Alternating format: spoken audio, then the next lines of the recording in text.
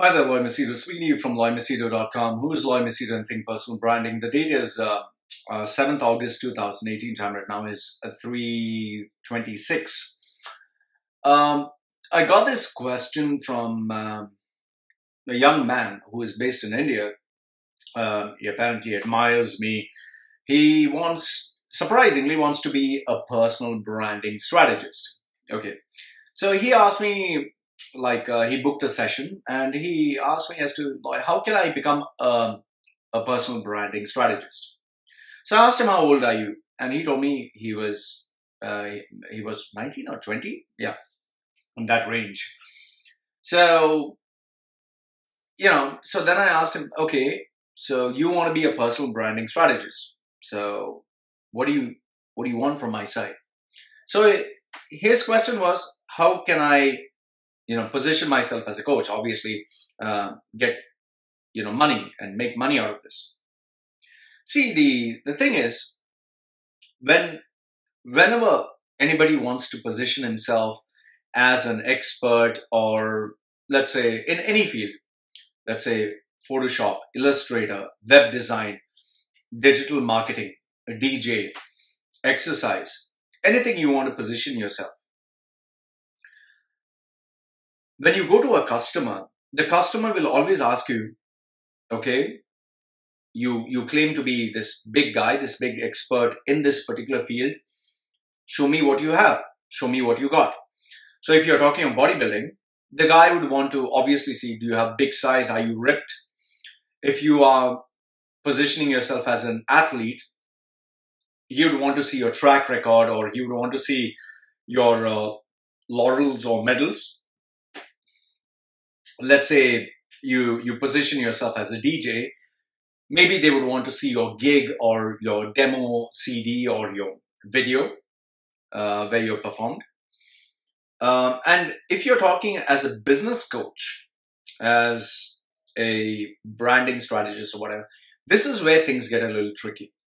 Because when you're talking about business, let's say you're going to somebody and saying, I'm going to increase your business. There was this guy uh, I don't want to take his name. this guy used to admire me a lot, and um, you know, he was searching for a job. He couldn't get a job. Tried for one to two years, two years, huh? Tried to get a job. He couldn't get a job. He used to get a job here and there and just leave. So finally, he decided to one fine day position himself as a business coach, business branding strategist, or something like that. And he started putting up videos um, telling me, Hello everyone, uh, this is your coach and today I'm going to tell you about sales. You know, he, he created a couple of videos. Today I'm going to tell you about business, what you should do, about product, about service. Fine, whatever. I'm not, I'm not trying to make fun of the guy, although it looks like I'm making fun of the guy. So, and he would put articles like sales, first identify your customer, go to him, make the sale, close the sale, whatever. now the problem here is what the person has done. Ah, it's hot water. Ah, what the person has done is he has given a lot of theory. Okay. Now when you're going to a person, you know, I, I remember my my mentor who was um, um, he was the managing director of a company that had a turnover of 11 million US dollars annually you know, when people used to come to him and say that, um, you know, I'm going to help you grow your business, he would immediately ask them, I make it a, I make an annual turnover of 11 million US dollars. What is your turnover? So if you are earning less than them, how are you going to help them make more than what they are making? That is their common logic. Like, for example, if I'm a bodybuilder, I'm absolutely, I'm huge, I'm big, I'm ripped. Unless you have an amazing track record of incredible knowledge in terms of steroids, in terms of exercise. You have a PhD in exercise. You have spent years and years. You can't just turn up being skinny and uh, a young guy and say, I'm going to teach you how to become Mr. Olympia, a world champion. It doesn't work that way because people are intelligent. If they give you one dollar, they value that one dollar. They're not going to give you just like that. Now, the question comes, what about me? I had to start somewhere, right? So I was not born as a personal branding strategist. I, I learned. Okay. So how did I do it? I'll, I'll give you some insight so this can at least help you. When I started off as a coach, I knew for a fact that people would look at me and say, what is your track record? You know, you're talking so much. Where's your experience? And I didn't have experience. It makes no sense for a guy who's in his 30s. Those days, I, I, I started at 30, 35, 36. It makes no sense for a guy who's 35, 36, who doesn't have any money in the bank. That time I didn't have any money. To go to a guy who is, let's say in his 50s, someone who's 50 years old or 55, who has like, say 5 million or 10 million or 20 million in his bank, for me to tell him, I'll tell you how to make money. No, it, it would be absolutely stupid. So I knew for a fact I had to specialize in something. So what I started to do was obviously aggressively start reading books, uh, go for seminars, go for training programs, go to coaches.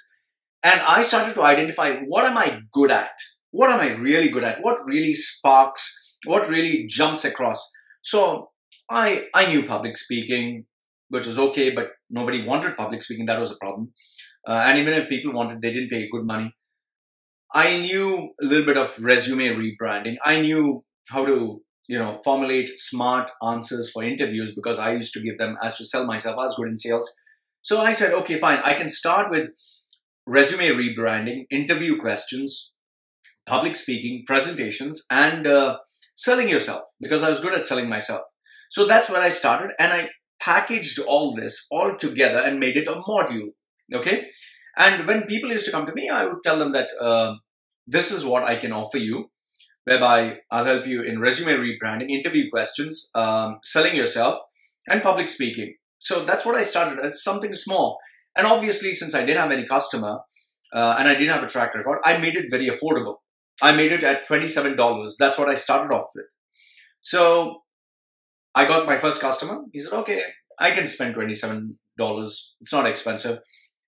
He was happy. I pushed to the maximum. I gave him outstanding service. And then he recommended two or three people. Then I did the same thing with those two or three people. And those two or three people introduced two or three more. And that's how it slowly started to evolve. Because I gave one person exceptional service and I went way beyond what anyone else would give, they were happy. But keep this in mind. Not every customer that I dealt with was a success. Some customers are, ah, you know, Lloyd, um, you know, I know most of the stuff you're teaching, which is a fact. Some people knew. Uh, some people said, uh, you know, there's nothing new what you're teaching. So I asked them specific questions. Okay, which area do you did you feel that was boring? Which area did you feel was of no value? Which area did you feel was, oh, I'm wasting my time? So they would identify. And if four or five people or 10 people would give the same feedback, like this particular point was not good, I would remove that. If people said, whoa, I loved this point and everyone highlighted or the majority highlighted this particular point, I would say, okay, this is my breadwinner. While this is not my breadwinner, this is the one that brings my value down. So over the period of time, I, I improved on my content, on my syllabus, on what I was sharing. And that's how I became better. Um, over the course of, I think, uh, six, seven years of really reading a lot, really absorbing a lot, really going through lots of training programs, of paying people lots of money, lots. Uh, you'd not believe I've even paid like people up to $20,000 just for one month's training.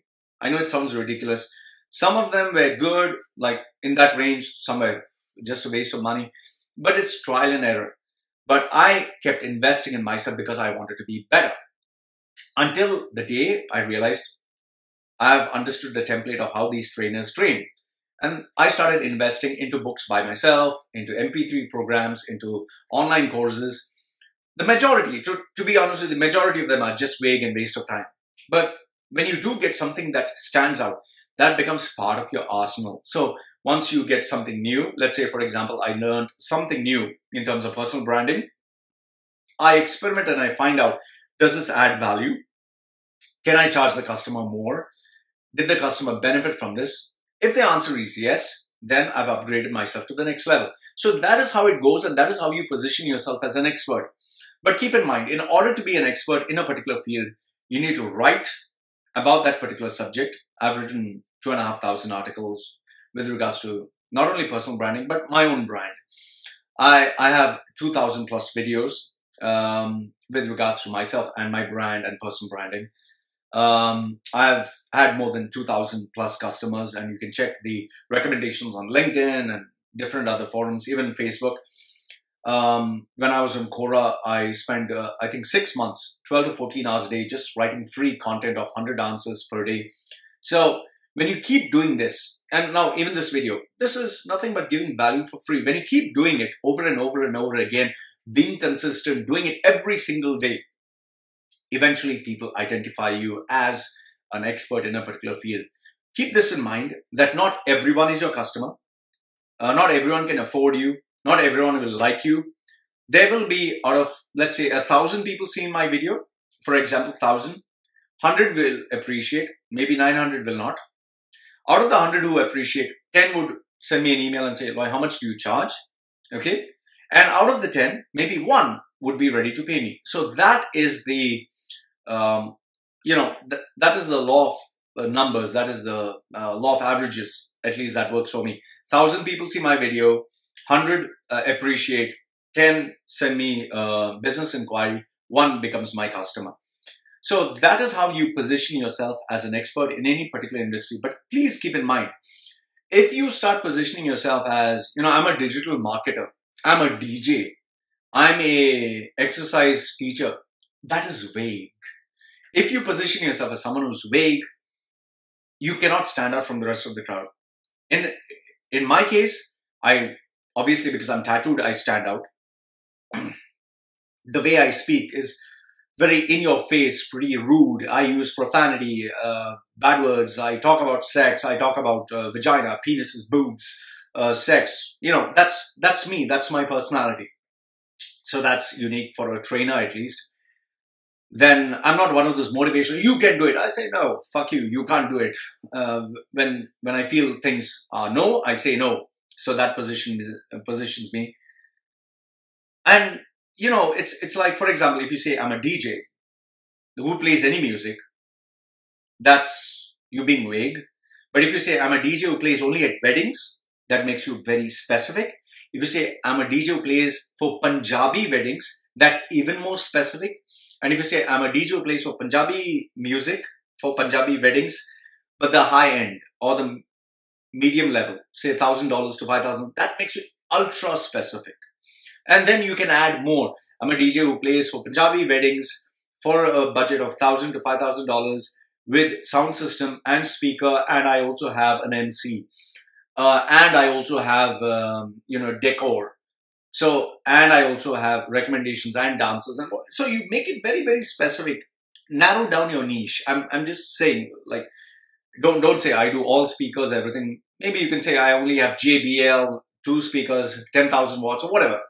So narrow down, be very, very specific. Okay. When you're really very specific and to the point and a person can identify you, uh, you stand out from the rest of the crowd, then people would want you as an expert and follow you. Otherwise, if you're like everyone else, I'm a digital marketer. That's so bloody vague.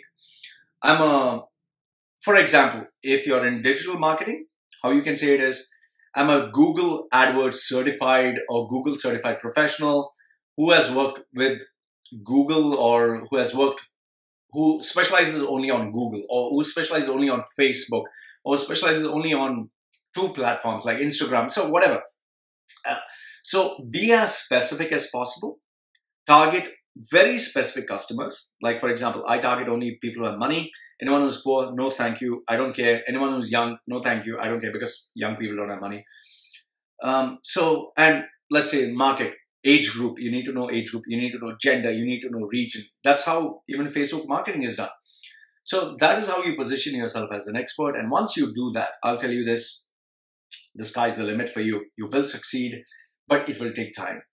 So I hope this gives you an insight into how you can position yourself as an expert in the industry and charge more money. Uh, it's a learning process. Uh, and the best way for you to learn is work with somebody who has experience I worked with my mentor who guided me from making you know, from preventing me from making those mistakes because before I was a DJ, anchor, I used to do shows, I used to speak in public, I used to train people, I used to do seminars, to do everything until he told me, Loy, you need to stop all this. You need to do just one, two, and three. And we were able to identify that and then said out of the one, two, three, focus on one as A, you know, second one as B and C, just very vague, even price points, even the way I interact with people. So uh, all these things you learn once you're with your mentor. So I hope this gave you at least a brief idea in terms of price points, in terms of uh, customer selection, in terms of how you position yourself and how you market yourself. So let me know if you have any questions. Put your comments down below. I'll always read them. Like the video, give it a thumbs up. Don't like it, give it a thumbs down. This is me signing off for now. And remember, my services, thinkpersonalbranding.com. Okay, take care.